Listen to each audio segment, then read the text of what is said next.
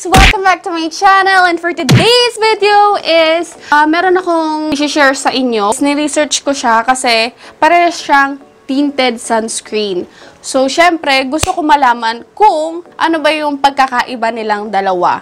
And also, itong tinted sunscreen na ipapakita ko sa inyo is parehong collaboration ng mga beauty vloggers natin. Okay? So, bago ko pala muna ipakita sa inyo ang product na ating i-review for today or yung comparison. So, this is a Sun Glow versus Skin Saver. So, alam nyo naman guys kung sino yung mga beauty vlogger na tinutukoy ko which is sa Sun Glow, it is Ate May Layug and Ray Hermar and from Skin Saver, it is Anakay. So, parehas silang beauty vloggers, guys. Pero bago natin simulan ang versus ng kanilang products, make sure to subscribe on my channel down there and make sure na i-click mo na rin yung bell para maging notified ka whenever I upload my videos on my YouTube channel. That's it. So, without further ado, let's get into the video. Let's go!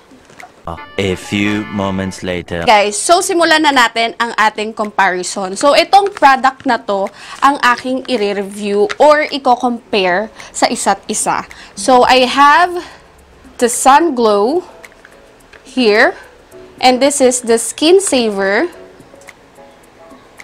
Medyo matagal na to sa akin guys dahil ito yung mga unang releases pa ng, ng Skin Saver ni Miss Anakay. Ito yung kay Ate Ray Hermar at, at kay Ate May Layug. Nyo, parehas tinted sunscreen to.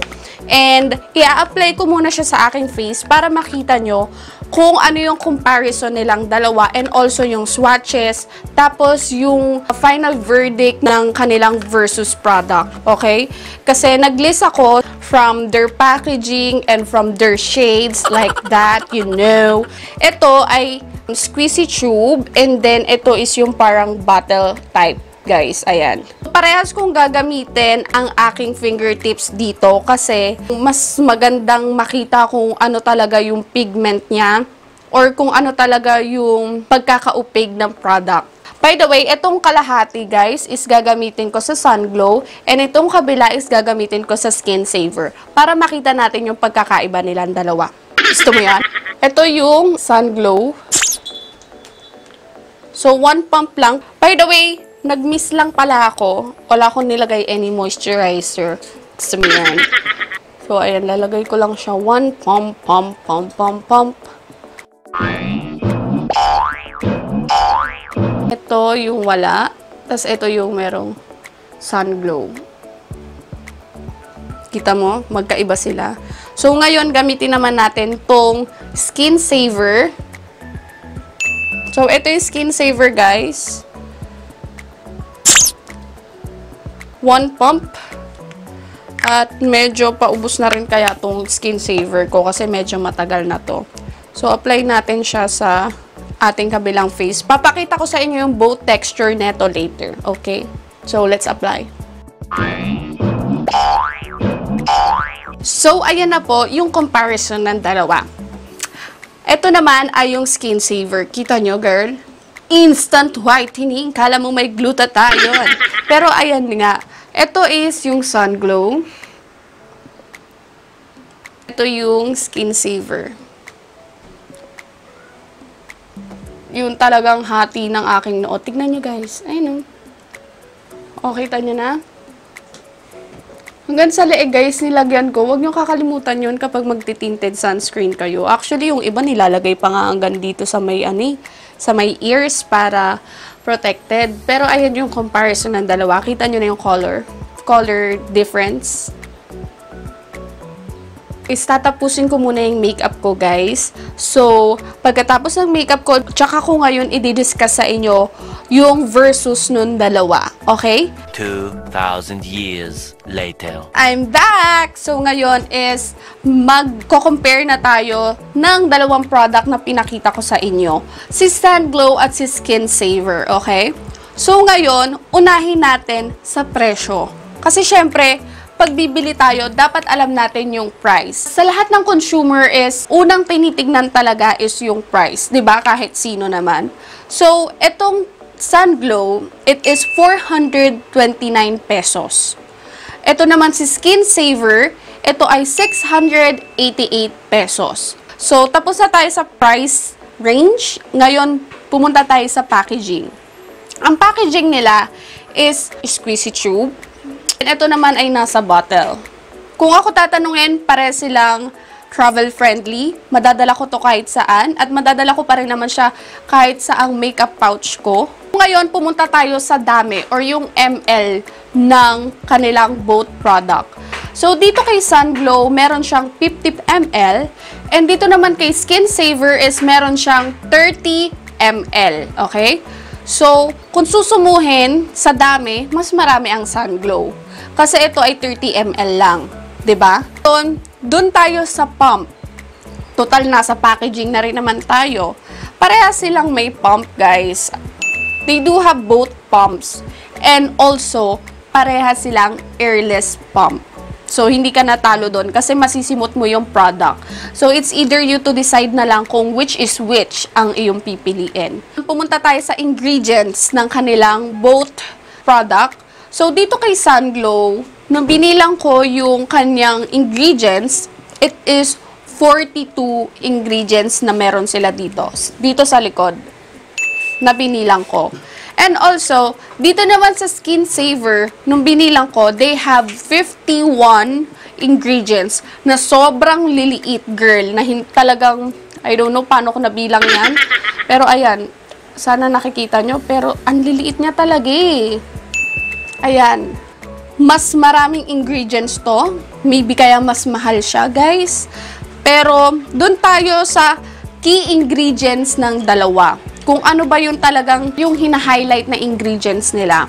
Sa Sunglow, ang kanilang key ingredients ay Centella asiatica, sunflower oil, at niacinamide. Dito naman sa Skin Saver, meron siyang vitamin C, niacinamide, hyaluronic acid, and Centella asiatica. Ito ay apat at ito ay tatlo na key ingredients na matatagpuan nyo. Punta tayo sa SPF. Kasi syempre tinted sunscreen to, so dapat alam natin kung ano ba yung SPF, para saan ba yun, ba? So ngayon, ah, tignan natin yung kanilang both SPF. Etong Sun Glow, they have SPF 50 PA. So, apat na plus yon. Ngayon, dito naman tayo sa Skin Saver. Ito siya. Meron siyang SPF 50 PA. So, dalawa lang yung kanyang plus. Ano nga ba yung PA? Ano nga bang kahulugan nun? Meron akong konting ni-research sa inyo para malaman natin at hindi tayo maguluhan kung para saan ba yun.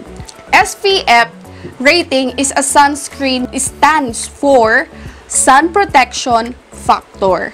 It is a measurement of how long you can stay outside during the day and be protected by the sunburn causing UVB rays, assuming that you need to apply a sunscreen right away. Ano nga ba yung PA++ or yung mga plus pluses na nakikita natin sa mga uh, sunscreen natin? The letter PA followed by plus sign, yun yung pinaka-label kung gano katapang or gano kanya mapoprotektahan. So, yung PA+, yung isang plus lang, some UVA protection. So, meron siyang protection, but hindi ganun kalakas. Ngayon, punta tayo dun sa PA++. Yun is moderate UVA protection. Plus, yung tatlong plus, ayun naman ay high UVA protection. And doon naman sa apat na PA++++, meron siyang extremely high UVA protection. Pero wala na pinagsabi ko, lagay ko na lang yung picture dito guys. Ayan siya. Para malaman nyo kung ano ba yung mga PA+++, okay? So, kung sa PA++ lang naman ang ating tinutukoy, syempre mas marami si Sunglow kesa kay Skin Saver. Doon naman tayo kung saan siya ginawa, okay? So, ito is made in Korea. Ito naman ay made in the Philippines, guys.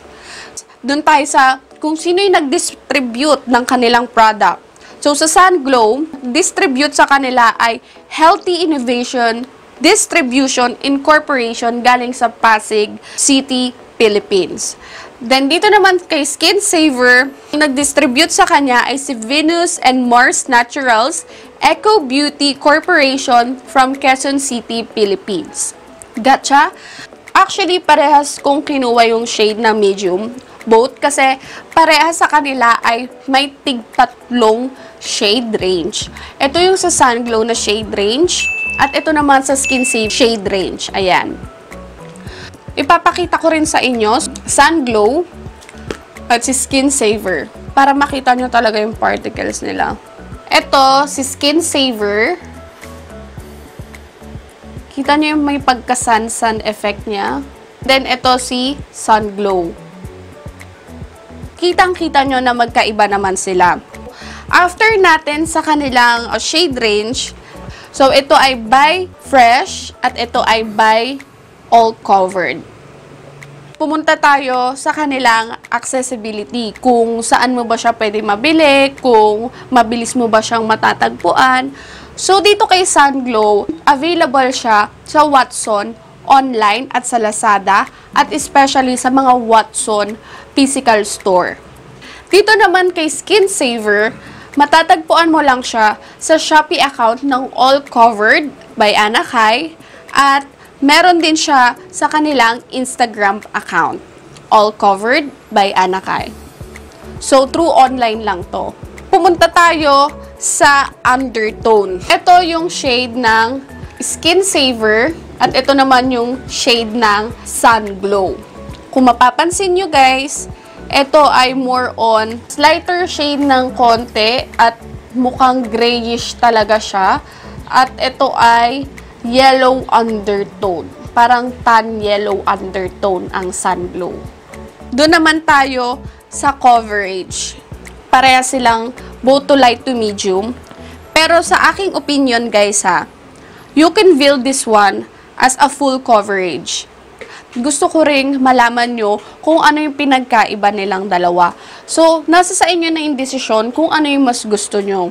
ba? At hopefully, nakatulong ako sa inyo kung ano ba yung bet nyong bilhin. I like it both dahil pares ko rin gusto yung mga beauty bloggers na collaboration ng products na to, guys. Thank you guys for watching my video and spending a time with me. And also, sana may natutunan kayo about sa mga sinabi kong facts about sa products na to. Stay safe, stay at home if hindi naman necessary lumabas, okay? And don't forget, mag-subscribe ka sa aking channel, girl, down there. And click mo na rin yung bell para maging notified ka whenever I upload videos on my YouTube channel. And hope to see you guys on my next video. Don't forget, have a good one and I love you all.